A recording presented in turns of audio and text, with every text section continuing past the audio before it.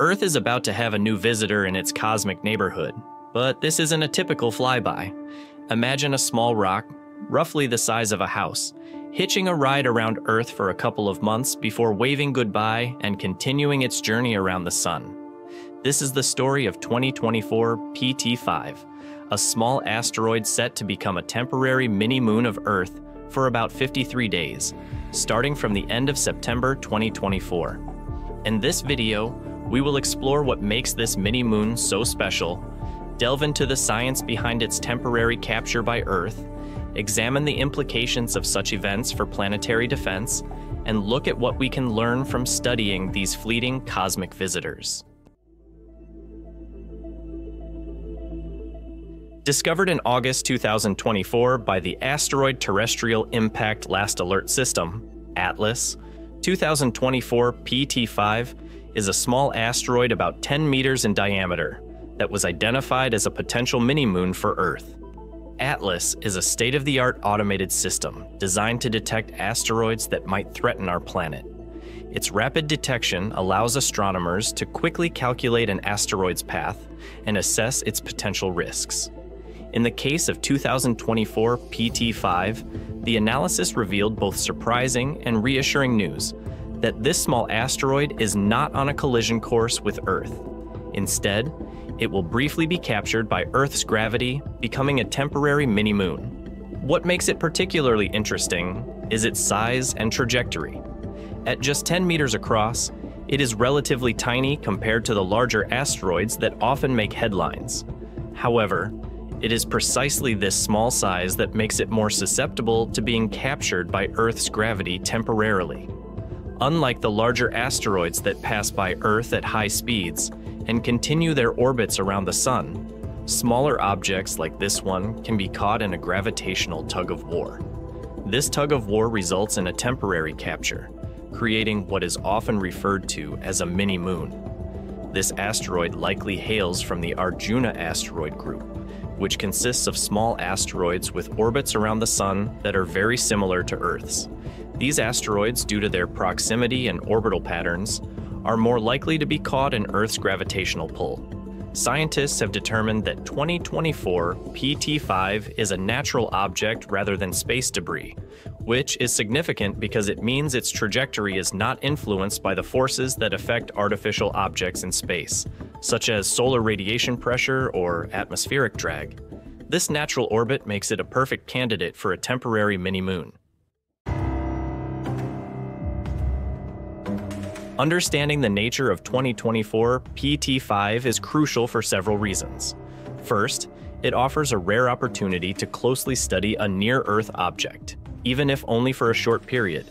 Second, events like this serve as valuable test cases for improving our asteroid detection and tracking systems.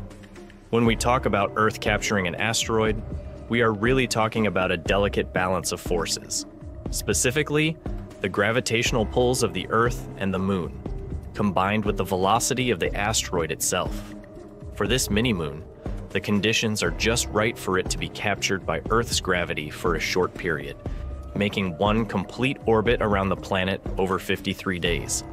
When an asteroid like this one approaches Earth, it enters a region of space where our planet's gravitational pull starts to dominate over the sun's, if the asteroid's speed and trajectory align perfectly, it can enter a temporary orbit around Earth.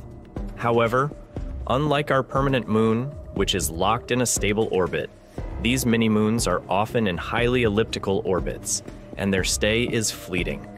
For 2024 PT5, the current predictions suggest that it will be captured by Earth's gravity at the end of September 2024 make a single loop around our planet, and then slingshot back into its orbit around the Sun by mid November.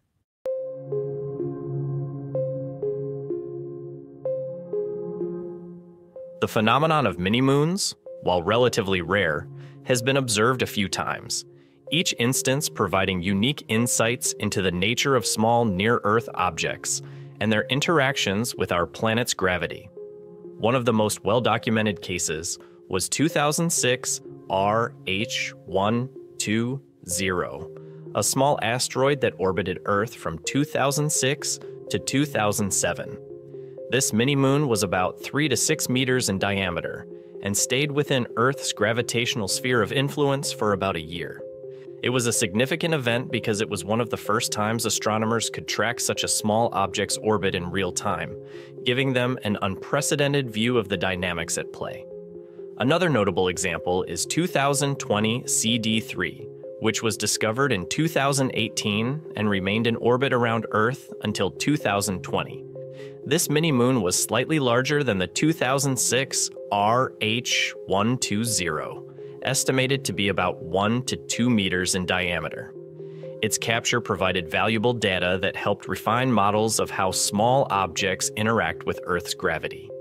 These past instances of mini moons have contributed significantly to our understanding of near Earth objects.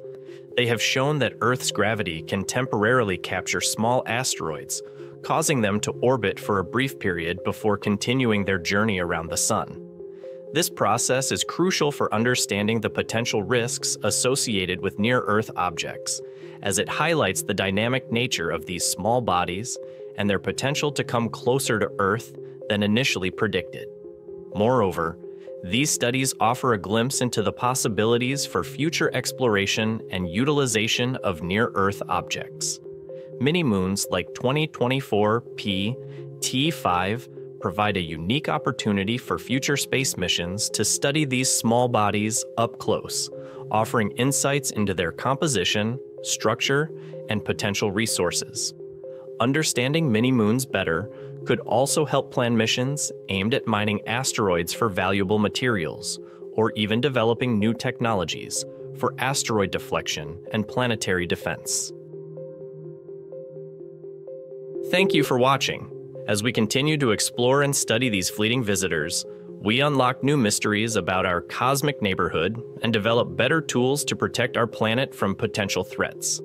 The story of 2024 PT5 is a reminder of the dynamic and ever changing nature of our universe.